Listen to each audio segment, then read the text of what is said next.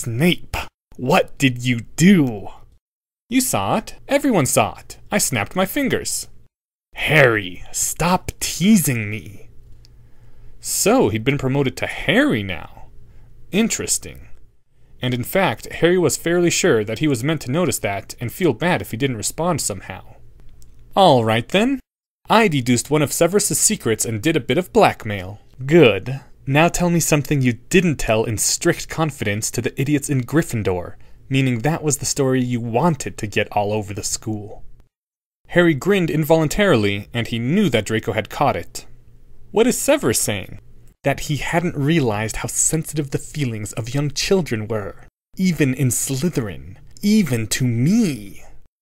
Are you sure that you want to know something your head of house would rather you not know? Yes. Then you really are going to send your minions away first, because I'm not sure I can believe everything you believe about them. Okay. Boss, you've given Mr. Potter no reason to trust you. Go. They left. Anyway, trade. I tell you a fact that isn't on the grapevine and does not go on the grapevine, and in particular does not go to your father, and in return you tell me what you and Slytherin think about the whole business. Deal. Now, to make this as vague as possible, something that wouldn't hurt much even if it did get out. What I said was true. I did discover one of Severus's secrets, and I did do some blackmail. But Severus wasn't the only person involved. I knew it! Harry's stomach sank. He had apparently said something very significant, and he did not know why. This was not a good sign. All right, so here's what the reaction was like in Slytherin. First, all the idiots were like, We hate Harry Potter, let's go beat him up. What is wrong with the sorting hat? That's not Slytherin, it's Gryffindor. Not all children are prodigies, and it took around 15 seconds for someone to explain to them why this might not be such a favor to Snape, so you're fine. And then the actual smart people started talking. It's obvious that you found a way to put a lot of pressure on Snape, and while that could be more than one thing, the obvious next thought is that it has something to do with Snape's unknown hold over Dumbledore. House Slytherin had wondered why Severus wasn't getting fired, and they'd concluded that Severus was blackmailing Dumbledore. Could that actually be true? But Dumbledore hadn't seemed to act like it. And the next thing the smart people pointed out was that if you could put enough pressure on Snape to make him leave half of Hogwarts alone, that meant you probably had enough power to get rid of him entirely if you wanted. What you did to him was a humiliation, just the same way he tried to humiliate you, but you left us our head of house. But it would be a very stupid thing to leave an enemy around like that. If you could break his hold over Dumbledore, the obvious thing would be to just do it. Dumbledore would kick Snape out of Hogwarts and maybe even have him killed, and he'd be very grateful to you. And you wouldn't have to worry about Snape sneaking into your dorm room at night with interesting potions. Harry's face was now neutral. He had not thought of that, and he really, really should have. And from this you concluded...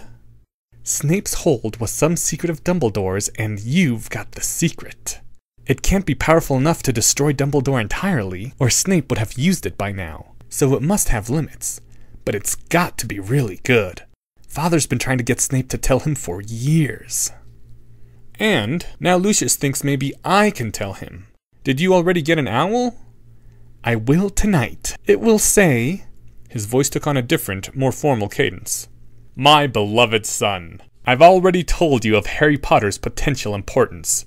As you have already realized, his importance has now become greater and more urgent. If you see any possible avenue of friendship or point of pressure with him, you must pursue it, and the full resources of Malfoy are at your disposal if needed. Well, not commenting on whether or not your whole complicated edifice of theory is true, let me just say that we are not quite such good friends as yet. I know. Has it occurred to you that if you know something Dumbledore doesn't want known, Dumbledore might simply have you killed? And it would turn the boy who lived from a potential competing leader into a valuable martyr, too. No comment. He hadn't thought of that last part either. Didn't seem to be Dumbledore style, but. Harry, You've obviously got incredible talent, but you've got no training and no mentors, and you do stupid things sometimes. And you really need an advisor who knows how to do this, or you're going to get hurt. Ah, an advisor like Lucius? Like me. I'll promise to keep your secrets from father, from everyone. I'll just help you figure out whatever you want to do. Wow. Harry saw that Zombie Quirrell was staggering in through the doors. Class is about to start. I'll think about what you said. There's lots of times I do wish I had all your training. It's just I don't know how I can trust you so quickly. You shouldn't. It's too soon. See? I'll give you good advice even if it hurts me. But we should maybe hurry up and become closer friends. I'm open to that. Another bit of advice. Right now, everyone in Slytherin is wondering about you, so if you're courting us, which I think you are, you should do something that signals friendship with Slytherin soon, like today or tomorrow. It's got to be something obvious. Push your mudblood rival Granger into a wall or something. Everyone in Slytherin will know what that means. Today, I had planned to teach you your first defensive spell, a small shield that was the ancestor of today's Protego. But on second thought, I have changed today's lesson plan in light of recent events. Draco, of the noble and most ancient house of Malfoy, is it your ambition to become the next Dark Lord? That's an odd question, Professor. I mean, who'd be dumb enough to admit it? Indeed.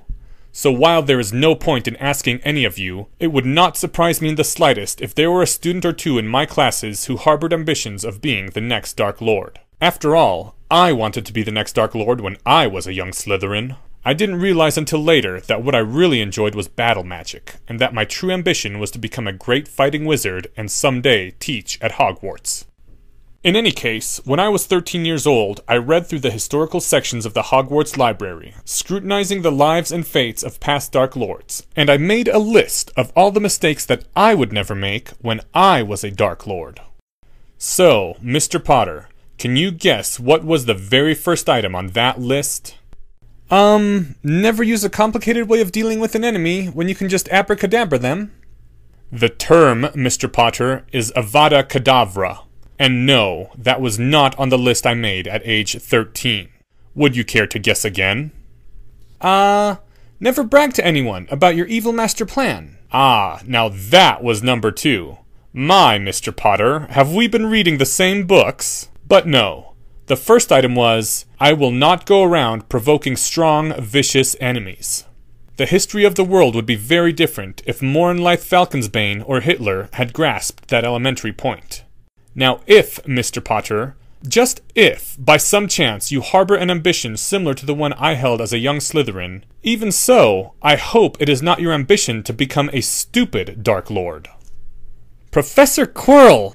I am a Ravenclaw, and it is not my ambition to be stupid, period. I know that what I did today was dumb, but it wasn't dark. I was not the one who threw the first punch in that fight. You, Mr. Potter, are an idiot. But so was I at your age. Thus, I anticipated your answer and altered today's lesson plan accordingly. Mr. Gregory Goyle, if you would come forward, please. There was a surprised pause in the classroom. Harry hadn't been expecting that. Neither, from the looks of it, had Mr. Goyle.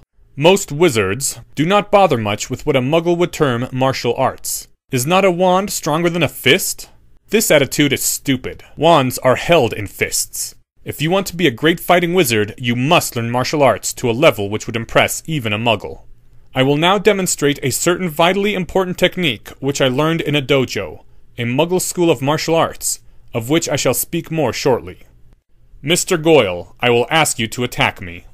Professor Quirrell, can I ask what level? Sixth Dan. You will not be hurt, and neither will I. And if you see an opening, please take it. Mr. Goyle nodded, looking much relieved. Note that Mr. Goyle was afraid to attack someone who did not know martial arts to an acceptable level, for fear that I, or he, would be hurt. Mr. Goyle's attitude is exactly correct, and he has earned three Quirrell points for it. Now, Fight!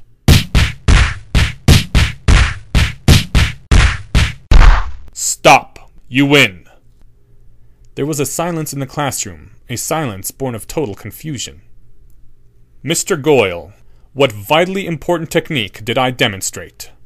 How to fall correctly when someone throws you. It's one of the very first lessons you learn. That too. There was a pause. The vitally important technique which I demonstrated was how to lose. You may go, Mr. Goyle. Thank you. Mr. Goyle walked off the platform looking rather bewildered. Harry felt the same way. Sometimes we forget the most basic things, since it has been too long since we learned them. I realized I had done the same with my own lesson plan. You do not teach students to throw until you have taught them to fall, and I must not teach you to fight if you do not know how to lose. I learned how to lose in a dojo in Asia, which, as any muggle knows, is where all the good martial artists live. This dojo taught a style which had a reputation among fighting wizards as adapting well to magical dueling. The master of that dojo, an old man by muggle standards, was that style's greatest living teacher. He had no idea that magic existed, of course. I applied to study there and was one of the few students accepted that year from among many contenders. There might have been a tiny bit of special influence involved. During one of my first fights, after I had been beaten in a particularly humiliating fashion, I lost control and attacked my sparring partner. Thankfully, with my fists rather than my magic. The master, surprisingly, did not expel me on the spot, but he told me that there was a flaw in my temperament. He explained it to me, and I knew he was right. And then he said that I would learn how to lose. Upon his strict orders, all of the students in the dojo lined up. One by one, they approached me. I was not to defend myself. I was only to beg for mercy. One by one, they slapped me, or punched me, or pushed me to the ground. Some of them spat on me. They called me awful names in their language. And to each one, I had to say, I lose, and similar such things, such as, I beg you to stop, and, I admit you're better than me. I was a prodigy of battle magic even then. With wandless magic alone, I could have killed everyone in that dojo. I did not do so. I learned to lose. To this day, I remember it as one of the most unpleasant hours of my life. And when I left that dojo eight months later, which was not nearly enough time, but was all I could afford to spend, the master told me that he hoped I understood why that had been necessary. And I told him that it was one of the most valuable lessons I had ever learned, which was, and is, true. You are wondering where this marvelous dojo is and whether you can study there. You cannot. For not long afterward, another would be student came to that hidden place, to that remote mountain. The Dark Lord came to that school openly, without disguise, glowing red eyes and all. The students tried to bar his way, and he simply apparated through. There was terror there, but discipline, and the master came forth. And the Dark Lord demanded, not asked, but demanded, to be taught. Perhaps the master had read too many books telling the lie that a true martial artist could defeat even demons. For whatever reason, the master refused. The Dark Lord asked why he could not be a student. The master told him he had no patience, and that was when the Dark Lord ripped his tongue out. You can guess what happened next. The students tried to rush the Dark Lord and fell over, stunned where they stood. And then. Professor Quirrell's voice faltered for a moment, then resumed. There is an unforgivable curse, the Cruciatus curse, which produces unbearable pain. If the Cruciatus is extended for longer than a few minutes, it produces permanent insanity. One by one, the Dark Lord crucioed the Master students into insanity, and then finished them off with the killing curse, while the Master was forced to watch. When all his students had died in this way, the Master followed. I learned this from the single surviving student whom the Dark Lord had left alive to tell the tale, and who had been a friend of mine. The Dark Lord was foolish to wish that story retold. It did not show his strength, but rather an exploitable weakness. Dark wizards cannot keep their tempers. It is a nearly universal flaw of the species, and anyone who makes a habit of fighting them soon learns to rely on it. Understand that the Dark Lord did not win that day. His goal was to learn martial arts and yet he left without a single lesson. What precisely did you do wrong today, Mr. Potter? I lost my temper. That is not precise. I will describe it more exactly. There are many animals which have what are called dominance contests. They fight with their paws, with claws sheathed. But why with their claws sheathed? Surely, if they used their claws, they would stand a better chance of winning? But then their enemy might unsheath their claws as well, and instead of resolving the dominance contest with a winner and a loser, both of them might be severely hurt. When a Hogwarts professor challenged you, you did not back down. When it looked like you might lose, you unsheathed your claws, heedless of the danger. You escalated, and then you escalated again. It started with a slap at you from Professor Snape, who is obviously dominant over you. Instead of losing, you slapped back and lost 10 points from Ravenclaw. Soon, you were talking about leaving Hogwarts. The fact that you escalated even further in some unknown direction and somehow won at the end does not change the fact that you are an idiot. That had been precise. Frighteningly precise. Now that Professor Quirrell had said it, Harry could see in hindsight that it was an exactly accurate description of what had happened. When someone's model of you was that good, you had to wonder whether they were right about other things too, like your intent to kill. The next time, Mr. Potter, that you choose to escalate a contest rather than lose, you may lose all the stakes you place on the table. I cannot guess what they were today. I can guess that they were far, far too high for the loss of 10 house points. You will protest that you are trying to help all of Hogwarts, a much more important goal worthy of great risks. That is a lie. If you had been, I would have taken the slap, waited, and picked the best possible time to make my move. But that would have meant losing, letting him be dominant over me. It was what the Dark Lord couldn't do with the master he wanted to learn from. I see that you have understood perfectly. And so, Mr. Potter, today you are going to learn how to lose. It is evident both that you need this and that you are strong enough to take it. I assure you that your experience will not be so harsh as what I went through, though you may well remember it as the worst 15 minutes of your young life. Professor Quirrell, can we do this some other time? No. You are five days into your Hogwarts education, and already this has happened. Today is Friday. Our next defense class is on Wednesday. Saturday, Sunday, Monday, Tuesday, Wednesday. No, we do not have time to wait. Professor Quirrell, if you do anything like what you talked about, it's going to make me angry, and I really would rather not get angry again today. The point is not to avoid getting angry. Anger is natural. You need to learn how to lose even when you are angry, or at least pretend to lose so that you can plan your vengeance as I did with Mr. Goyle today, unless, of course, any of you think he really is better. I'm not! I know you didn't really lose! Please don't plan any vengeances! Professor Quirrell didn't know about his mysterious dark side. Professor, we really need to talk about this after class. We will, after you learn how to lose. Professor Quirrell, do you really believe that if I don't do this, I might hurt someone? Yes. Then, I'll do it. So, with the full approval of your teacher, and in such a fashion that Snape cannot be blamed for your actions, do any of you wish to show your dominance over the boy who lived? Shove him around, push him to the ground, hear him beg for your mercy. Everyone with your hand raised, you are an absolute idiot. What part of pretending to lose did you not understand? If Harry Potter does become the next Dark Lord, he will hunt you down and kill you after he graduates. I won't. I swear never to take vengeance upon those who helped me learn to lose. I am sorry, Mr. Potter. I realize that you must find this equally annoying whether you intend to become a Dark Lord or not. But those children also had an important life lesson to learn. Would it be acceptable if I awarded you a Quirrell point in apology? Make it two. Done. Professor, it is also not my own ambition to become a stupid Dark Lord. You worry that you cannot pretend to lose, Mr. Malfoy? That this flaw which describes Harry Potter also describes you? Surely your father taught you better. I want to be fully as strong as you, Professor Quirrell.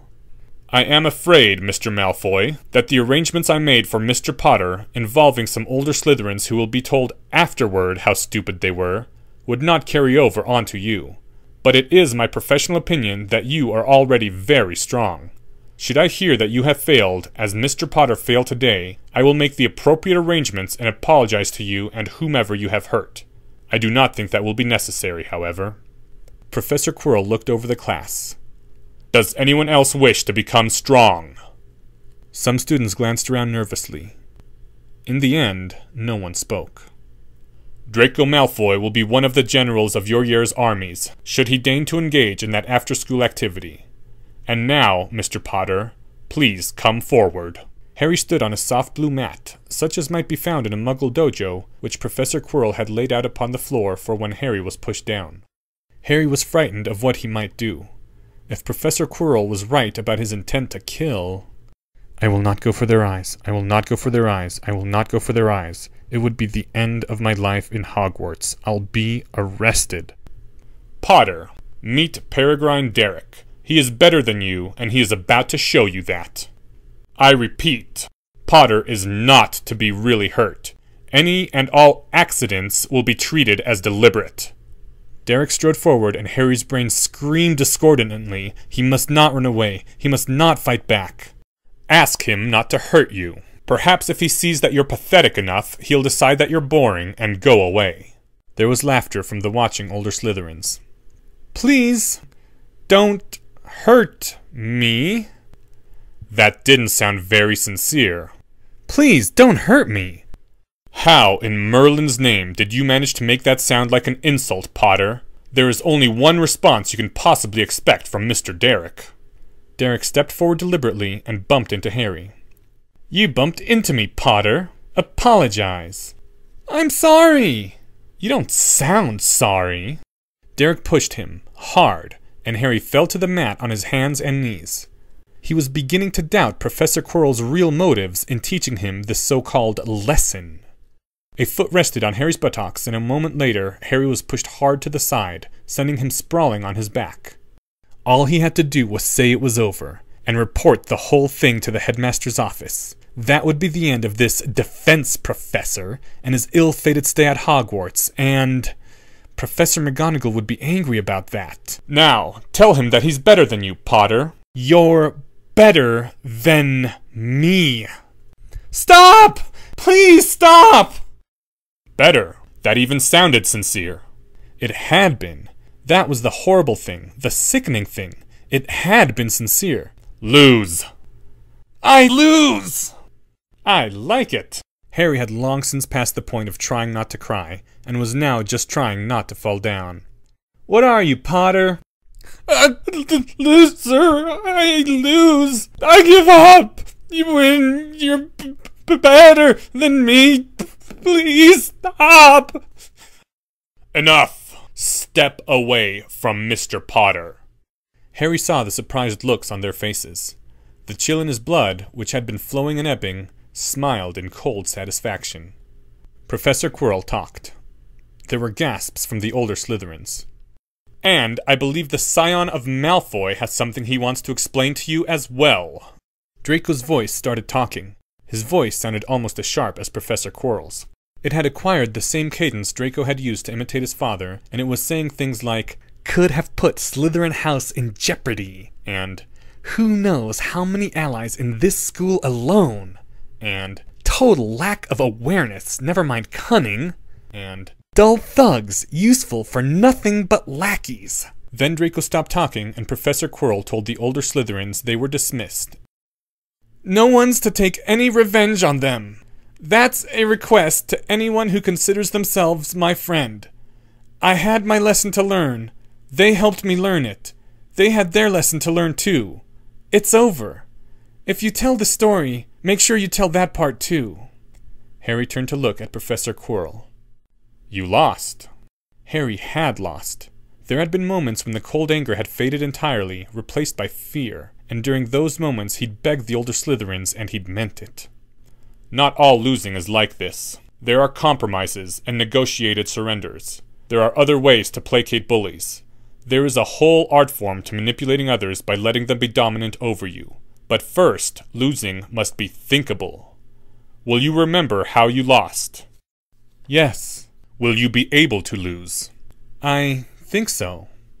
I think so too. Congratulations, Harry Potter. You win.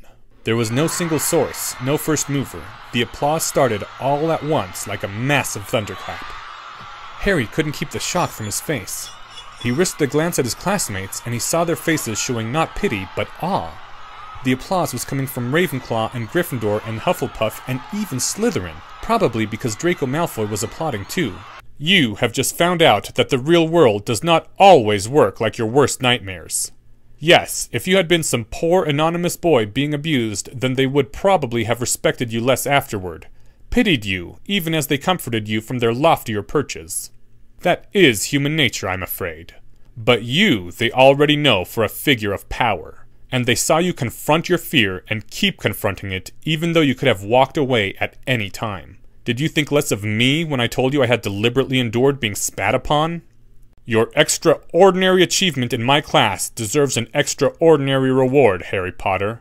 Please accept it with my compliments on behalf of my house, and remember from this day forward that not all Slytherins are alike. 51 points to Ravenclaw. Harry felt something wrong about that. Professor McGonagall had been right. There should have been consequences. You couldn't just put everything back the way it was like that. But Harry saw the elated faces in Ravenclaw and knew he couldn't possibly say no. His brain made a suggestion. It was a good suggestion. Harry could not even believe his brain was still keeping him upright, let alone producing good suggestions. Professor Quirrell, you are everything a member of your house should be, and I think you must be just what Salazar Slytherin had in mind when he helped found Hogwarts. I thank you and your house. And I think this calls for three cheers for Slytherin. With me, everyone? Huzzah! Only a few people managed to join in on the first try. Huzzah! This time most of Ravenclaw was in on it. Huzzah! That was almost all of Ravenclaw, a scattering of Hufflepuffs, and around a quarter of Gryffindor. Most of the Slytherins had expressions of sheer shock. A few were staring at Professor Quirrell in wonder. Blaise Zabini was looking at Harry with a calculating, intrigued expression. Now, believe it or not, we still have half an hour left in this session, and that is enough to introduce the simple shield. Mr. Potter, of course, is going off and taking a well earned rest. I can. Idiot. Your classmates can teach you afterward, or I'll tutor you privately if that's what it takes. But right now, you're going through the third door from the left in the back of the stage, where you will find a bed, an assortment of exceptionally tasty snacks, and some extremely light reading from the Hogwarts library. Now go. Harry went.